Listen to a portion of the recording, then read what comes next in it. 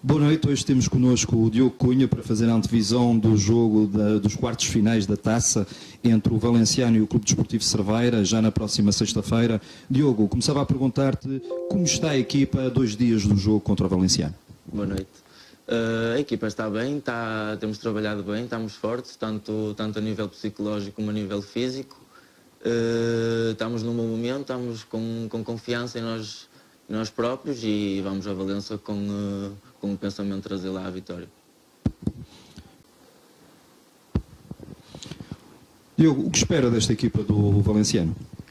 Uh, esperamos um, um, Valenciano forte, como, como nos dois jogos que, que fizemos contra ele para o campeonato.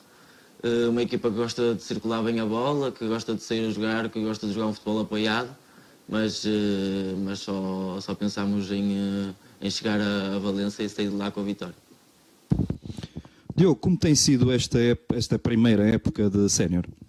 Tem sido, tem sido muito boa, tanto, tanto a nível individual como a nível coletivo. Uh, e espero que, que assim seja e que possa, possa acabar a época da melhor maneira possível. Boa noite, obrigado e boa sorte para sexta-feira.